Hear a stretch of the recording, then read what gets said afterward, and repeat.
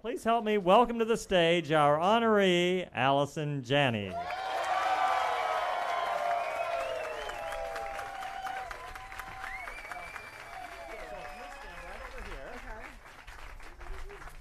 Now, I know we all want to hear from Allison, but we have a few special guests who've asked to say a few words about their friend.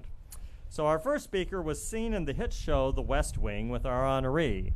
His other shows include Relativity, Ally McBeal, The Practice, Chicago Hope, and NBC's ER.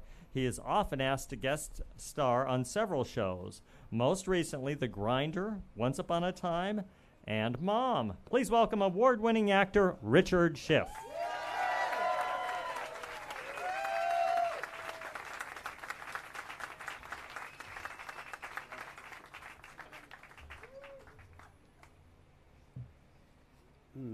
This is my life.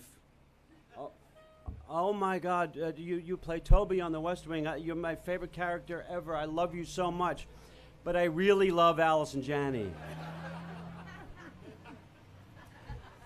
when I was 12 or 13, you know the uh, the pubescent age, I first saw Ann-Margret in Bye Bye Birdie, and I thought out loud, probably, that exists on this earth. The very first time I acted with Allison Janney, I thought probably out loud, that exists on this earth. I got a phone call recently. I know you hate this stuff, but I'm getting a star on Hollywood Walk of Fame, and I know you hate it, but I'm asking you to speak for me, and you don't have to say anything. Just be funny and say you love me because I know you love me, and I want you to do it because I love you. And even if you hate me for asking you, I'm still going to ask because you do love me, so shut up and just do it.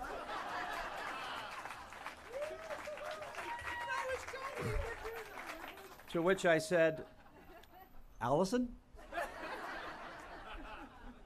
yes, it's Allison. It's Allison who you love, and I wouldn't ask you, but I want to ask you, and I know you don't want to because I wouldn't want to. So please don't ask me if this ever happens to you, but I'm asking you, so please just do it and don't hate me. And just you just have to say a thing or two that you love me and be funny. For God's sakes, be funny.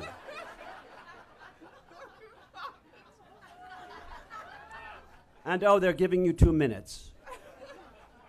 two minutes. Allison, You're done. I, Al- that's all right. That's all right.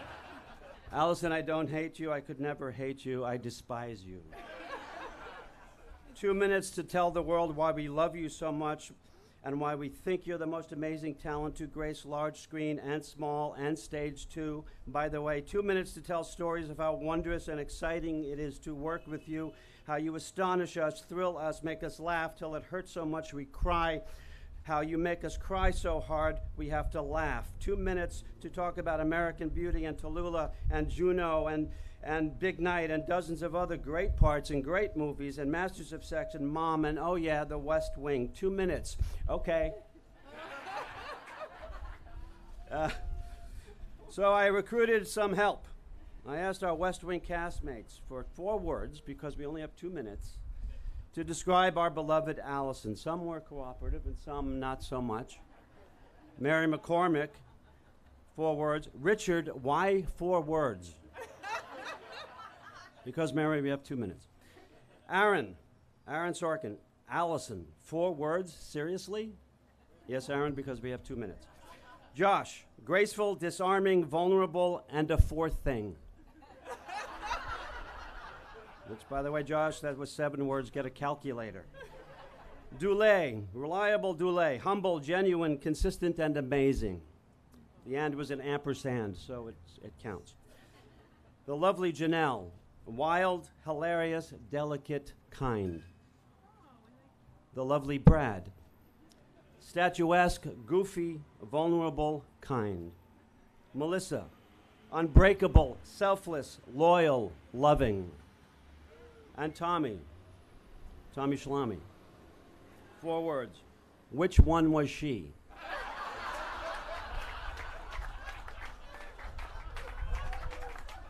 then he goes on to say, nah, absolutely, unequivocally the best. Tommy insisted uh, that I use all eight words because he hates it when someone finishes on time. It's an i- inside joke. Um, and from the Twitterverse, I, I held a contest on Twitter, and, and so many, hundreds, if not thousands, maybe millions of people. Um, uh, beautiful and amazing, but I went with the one that, that, that was quoted the most, which was, I had Woot Canal.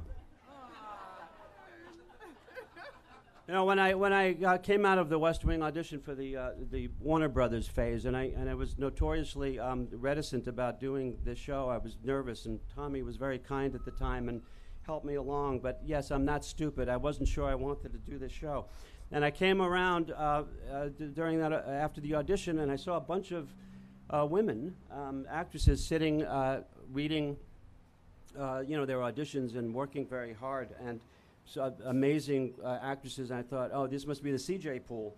And um, I stopped in my tracks because I saw one actress who I, I, I, I, remember, she's the one, I said, oh my God, she's the one who was hanging by the banister in primary colors. I love her. She's the one who burnt her hand on, uh, in, in, in, in, the big night. Uh, I, I, I ad- adore her. Um, and, and then I realized I had seen you three times uh, on, uh, off off Broadway back in New York and I thought, she's brilliant, and what the hell is she doing off off Broadway? And then I probably said out loud, if these guys cast her, then they know what they're doing. And as it turns out, they did know what they were doing. There is no one on earth or beyond I'd rather be stuck in, an, in the acting trenches with than Allison Janney.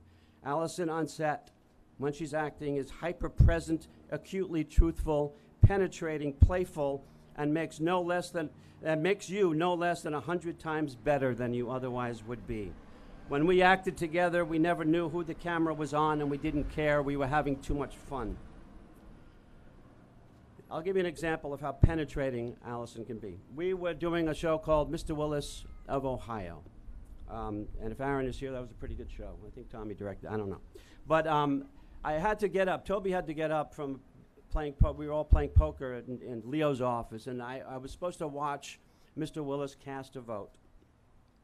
And um, so I got up and uh, th- we started to shoot, and there was nothing on the TV screen. It was a green screen because they hadn't shot that sequence yet. And I thought I was just going to react to, to that, to what I saw, and I, I was stuck.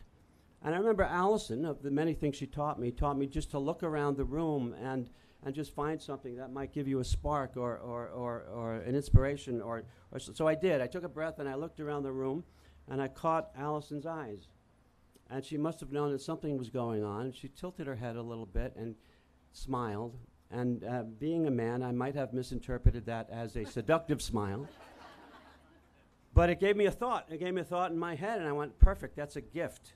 And so I did, this, I did the scene, and uh, watched Mr. Willis and created the moment. Three days later, Tommy Schlamme comes running up to me, charging at me, which he did quite often, actually, and uh, grabbed, me by the shoulders and said, That was the most brilliant moment I've ever seen, the most brilliant internal acting I've, I've ever seen. It was stunning. What were you, what were you thinking? I said, Well, I, I was just acting. And so I, I uh, today, for the first time, I'm going to reveal what the thought was that you had sparked in me it was, all I did was look at the screen and just think this one thought. What would it be like to have sex with Allison Janney? so if anyone ever, if there's a young actor out there who wants to be brilliant in an internal moment, just think, what would it be like to have sex with Allison Janney? Allison once said, if I could stomach the awful part of being a veterinarian, which involves sticking your hand up animals' behinds I would be a vet. Allison, we're very glad that you were grossed out and chose another path. She also said an agent said he didn't know what to do with me. I wouldn't be able to play any parts but lesbians and aliens. I can only speak for myself. A lesbian alien, I hope that prediction comes true at least once sometime soon. She has said, I love wasting time in learning to lip sync songs. It's a silly hobby of mine. I think you should share that talent with the rest of us at some point. It may lead to something. She also said, It's a great way to start the day hearing you've been nominated for an Emmy. It's just thrilling. It must be nice to be thrilled almost every day of your life.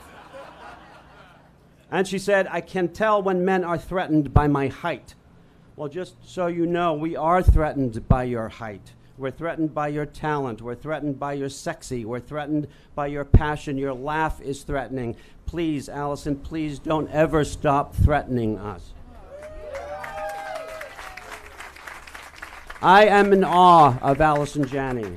Like a 14 year old boy watching Ann-Margret and Bye Bye Birdie for the first time, only she's also Meryl Streep and Barbara Stanwyck and Shirley MacLaine and Lily Tomlin and Carol Burnett and Lucille Ball and Marilyn Monroe. You make the easy scenes delightful, the fun scenes hysterical, the arduous scenes painless and somehow joyful, and the impossibly dangerous and raw scenes possible and somehow inevitable. If I were an aspiring actor, this spot is where I would study and contemplate my career. If I were a young woman, this star is what I would gaze at to imagine my life. If I were homeless, this is the spot on which I would sleep.